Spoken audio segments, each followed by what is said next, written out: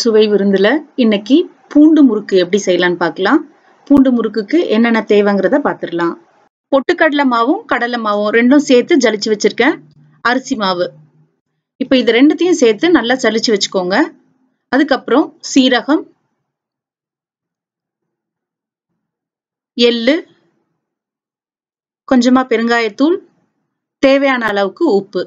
இது எல்லாத்தையும் போட்டு ஒரு முறை நல்லா கலந்து வச்சுக்கலாம். எல்லாத்தையும் கலந்ததுக்கு அப்புறம் ரூம் டெம்பரேச்சர்ல இருக்கிற வெண்ணெயை சேர்த்துக்கலாம். வெண்ணெயை சேர்த்ததுக்கு அப்புறம் கைகளால நல்லா கலந்து விட்டுக்கோங்க. வெண்ணெய் அங்கங்க நிக்க கூடாது இது எல்லாம் மாவோட மிக்ஸ் ஆனதுக்கு அப்புறம் காரத்துக்கு ஏத்த மாதிரி மிளகாத்தூள் சேர்த்துக்கலாம். இது எல்லாத்தையும் சேர்த்து இன்னொரு முறை கலந்து விட்டுருங்க. தோல் உரிச்சு நல்லா மைய அரைச்சிருக்கிற பூண்டு இதோட சேர்த்துக்கலாம். இது எல்லாத்தையும் சேர்த்து கொஞ்சமா தண்ணி விட்டு பிசைய ஆரம்பிச்சிடலாம்.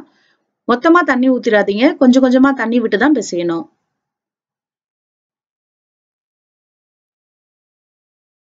இந்த பக்குவத்துக்கு நம்ம பிசைஞ்சு எடுத்துக்கணும். எண்ணெய் காஞ்சிருச்சு முறுக்கு சுத்தி எடுத்துக்கலாம். இந்த மாதிரி சின்ன சின்ன கண்கள் இருக்கிற மாதிரியான அச்சு எடுத்துட்டு நீங்க இந்த மாதிரி செய்யும் போது ரொம்ப நல்லா வந்துச்சு. ஆனா நான் இன்னைக்கு சீரகம் போட்டதுனால ஃபுல்லா எல்லாமே அடைச்சிக்கிச்சு சரியா வரல. ஒருவேளை நீங்க இந்த மாதிரி சின்ன அச்சுல போட்டு செய்யணும்னு நினைச்சீங்கன்னா சீரகத்தை அவாய்ட் பண்ணிட்டு செய்யுங்க. அது எல்லா இடத்துலயும் அடைச்சிக்குதுங்கிறதுனால நான் அச்சு மாத்திட்டேன். ஏற்கனவே நம்ம சேனல்ல நிறைய முறுக்கு போட்டதுனால இதை பத்தி அதிகமா சொல்ல வேண்டியது எதுவும் கிடையாது. நல்லா எண்ணெய் காஞ்சதுக்கு அப்புறம் முறுக்கு போடுங்க. ரெண்டு பக்கமும் திருப்பி போட்டு ஓரளவுக்கு நல்லா செவந்ததுக்கு அப்புறம் முறுக்கை எடுத்துடலாம்.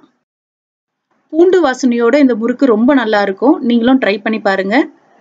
இந்த பூண்டு முறுக்கு உங்களுக்கு பிடிச்சிருந்தா நம்ம சேனலை லைக் பண்ணுங்க ஷேர் பண்ணுங்க. மறக்காம சப்ஸ்கிரைப் பண்ணிட்டு அந்த பெல் ஐக்கானையும் கிளிக் பண்ணிடுங்க. தேங்க்யூ அனைவருக்கும் தீப ஒளி திருநாள் நல்வாழ்த்துக்கள்.